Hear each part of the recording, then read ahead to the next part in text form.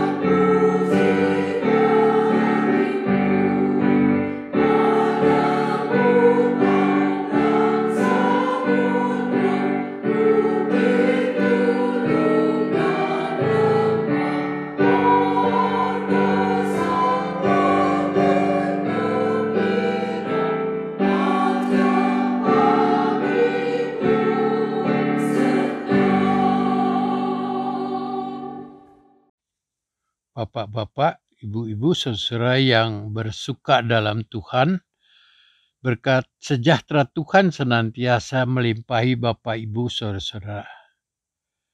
Coba ingat-ingat betapa sulitnya mencari mood atau rasa sukacita dalam kehidupan saat ini. Tapi dengan pantun di bawah ini saya coba merekahkan senyum bagi Bapak Ibu Saudara. Cetun cetak, seperak setalen, kepala pitak ketimpa kaleng. Bener kan? Gak lucu ya? Apalagi untuk orang Tionghoa Hokian yang uangnya disebut-sebut atau orang yang sebagian kepalanya gundul dan terluka sobek karena tertimpa kaleng isi minyak.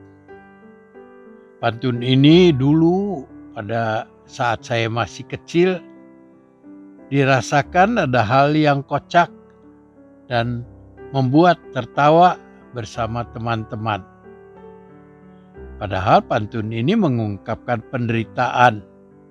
Itu ejekan tentang uang recehan, cacat, dan bukan hal baik yang menggembirakan yang pantas ditertawakan. Baiklah kalau begitu. Tapi tanggapan kita akan lagu Kidung Jemaat 3 bait pertama dan ketiga yang dinyanyikan beberapa ibu-ibu paduan suara wanita GKI Cawang harusnya merupakan hal yang menimbulkan kesukaan bahkan bagi malaikat-malaikat di sorga mengirim kesukaan pada para malaikat di sorga. Wow, luar biasa. Bapak Ibu Saudara, firman Tuhan dalam Lukas 15 ayat pertama hingga ketiga dan disambung dengan ayat 7 hingga 10 seakan memberitakan bahwa dari dunia yang kecil di tengah semesta ini dapat terkirim sukacita sampai ke sorga. Bapak Ibu Saudara, saat terjadi sikap yang bertentangan antara kelompok orang berdosa dan pemungut cukai kontra para parisi dan ahli Taurat, Tuhan Yesus menyatakan sikap dengan perumpamaan yang sederhana tapi sangat jelas. Dengan semacam kesimpulan untuk perumpamaan domba yang hilang, Tuhan Yesus mengemukakan tentang pertobatan yang menceriakan sorga.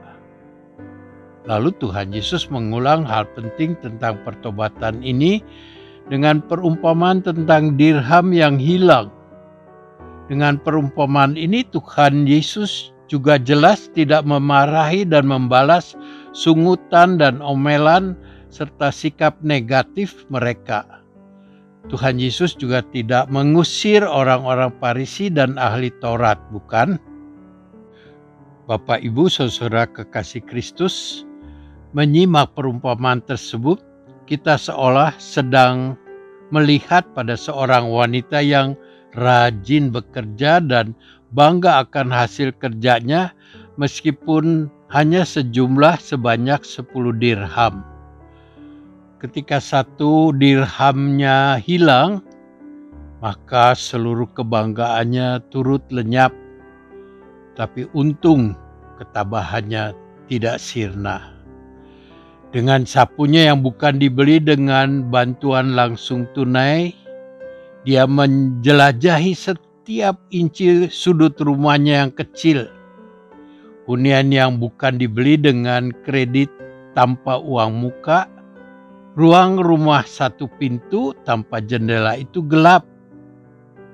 Juga saat di siang hari, sang perempuan menyalakan pelita berminyak zaitun tanpa subsidi, mencermati seluruh rumah dengan penerangan tersebut.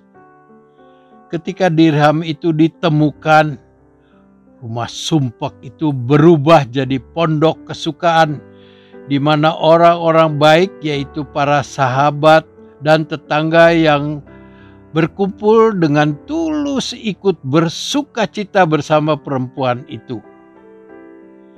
Dan kesukaan mereka oleh Tuhan Yesus disetarakan dengan kesukaan para malaikat menyambut pertobatan orang berdosa. Dengan perumpamaan ini sebenarnya jelas Tuhan Yesus juga mengundang orang Parisi dan ahli Taurat turut mengambil bagian dalam kesukaan dengan para malaikat-malaikat itu. Umat kekasih Kristus, pertobatan kita juga menjadi pengirim kesukaan bagi isi sorga.